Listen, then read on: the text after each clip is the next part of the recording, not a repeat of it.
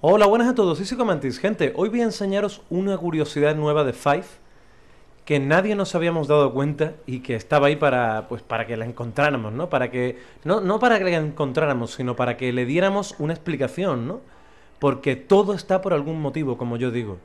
Fijaos bien, ya sabéis que en todos los mapas, pues siempre hay alguna canción, ¿no? Y que esa canción se activa, la mayoría de los sitios, pues por los ositos Teddy, ¿no?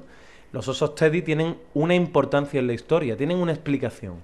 Bueno, pues en The Riz, que el otro día dije que os lo iba a enseñar, pero todavía no os lo he enseñado, no están los osos, están cerebros con la, con la espina dorsal, ¿no? Y también tiene un significado especial. Pero aquí en Five están los teléfonos, ¿vale? Y entonces vais a pensar, ¿no? Pues bueno, sí, lo activamos los teléfonos como siempre hemos pensado, ¿no? Le das a los telefonillos y se escucha y se escucha la música. Pero hay algo más importante detrás de eso, detrás de darle a un simple telefonito para escuchar la música. Y aparte de la canción, que todas las canciones son importantes, ¿no? La de Five se dice que no es tan importante, pero este teléfono o los tres teléfonos sí tienen su importancia. Y voy a deciros el porqué. Fijaos, cuando nosotros empezamos en Five, cuando estamos en la. cuando vemos el tráiler del principio, la cinemática del principio, se ve que los presidentes empiezan. A, están hablando, pero están abajo en el despacho, ¿vale? No están aquí, donde nosotros empezamos ahora. Lo cual quiere decir que cuando ocurre, cuando empiezan a salir los zombies, ellos salen de allí. Ellos salen del despacho y van aquí arriba, ¿vale? Se vienen aquí arriba. Y ahora, fijaos, el primer teléfono está aquí, aquí arriba. Están llamando. Coño, que me he equivocado de sitio. el primer teléfono está aquí arriba y están llamando. ¿Vale? La llamada está el botón rojo. Es una llamada de emergencia. ¿Vale? Fijaos bien lo que, lo que os estoy diciendo. Es una llamada de emergencia. Están llamando desde otro lado. Desde otra zona de aquí, del Pentágono. Pero claro, desde otra zona sería el despacho, que está el otro teléfono, o abajo del todo, justo donde está el laboratorio, donde sucede algo importantísimo que todavía no sabemos, que aún no sabemos, ¿no?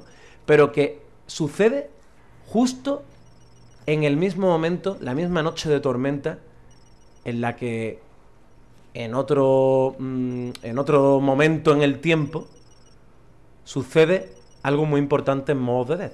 Bueno, pues fijaos, esta llamada es de emergencia. Nos están llamando, pero lo cogemos y fijaos. Suena comunicando. ¿Por qué suena comunicando? Porque en el momento en que nosotros estamos aquí, arriba, cuando los presidentes están en la cinemática, en el despacho, está sucediendo ese algo abajo del todo. Este teléfono de aquí arriba comunica con el de abajo del todo. ¿Y por qué? El de abajo del todo me refiero al de los laboratorios. ¿Y por qué digo el de los laboratorios? Fijaos, ¿eh? Fijaos cómo están conectados. Si nos venimos aquí abajo ahora, nosotros no podemos entrar en el despacho de los presidentes. No podemos entrar. ¿Por qué? Porque para entrar necesitamos activar el teletransporte. Por algún motivo, yo pienso que los presidentes o los que habían abajo, quizás los, los que estaban abajo en, la sala de, de... ¿Lo diré o no lo diré? en los laboratorios, los que estaban en los laboratorios apagaron la corriente. Era importante cortar la corriente. Se dieron cuenta. Y entonces nosotros no podemos entrar. Ellos llamaron por teléfono, avisaron aquí arriba. Pero, claro, en el momento que cogemos el teléfono, se corta la comunicación murieron, seguramente, o tuvieron que salir huyendo. Pero fijaos, ahora nos vamos al teléfono de abajo.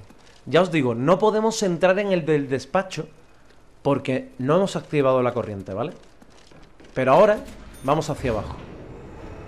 Vamos hacia abajo y ya sabéis que el siguiente teléfono es el que está aquí, justo al lado de la corriente. ¡Qué coincidencia!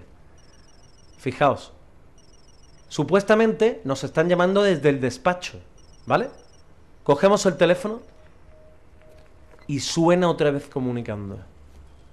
Le damos a la corriente y nos vamos. ¿vale? En este caso eh, ha, salido fail y nos manda arriba. Ya sabéis que como es aleatorio, nos manda arriba o nos manda o nos manda eh, a, la, za- a la sala de en medio dependiendo de, de cómo salga, ¿no? Aleatoriamente, ya os digo. La mayoría de las veces cuando os metéis ahí por esa, por esa puerta, por ese teletransporte, nos deja directamente, la mayoría de las veces nos deja aquí arriba, ¿vale? Pero much- muchas veces también nos deja en medio. Bueno, pues seguimos. Ahora activamos los DEFCON, ¿vale? Con la importancia que tienen los DEFCON, y ya os hablaré mañana o bueno, en uno de estos días, os hablaré de su importancia y de la relación que tiene con, con el doctor, con el doctor que nos roba las armas. Bueno, pues ahora le damos 4 y ahora vamos al quinto. Y ya entramos dentro del despacho. Fijaos, nos metemos dentro del despacho y ya estaría el último. No le voy a dar porque sale la canción de Eminem y no es plan. Bueno, ahora le daré, pero se acortará el vídeo entonces. Bueno, fijaos, nos llaman por última vez, pero ya no están aquí. ¿Dónde han ido? Y fijaos la importancia de esto, ¿eh? La relación que tiene porque aquí está el Pack-a-Punch y, y significaba la relación con los Illuminatis. ¿Qué sucedió aquí? Llaman constantemente por teléfono hasta que lo cogemos y deja de sonar. Algo importante sucedió. Abajo, en los laboratorios. Queda mucho todavía por, por descubrir, por saber. Pero cada detalle es importante y nos lo dejaban en todas partes. En este caso, los teléfonos de la música estaban haciendo una llamada de emergencia. Pero ¿quién sería? Darle like, suscribíos y hasta el próximo vídeo.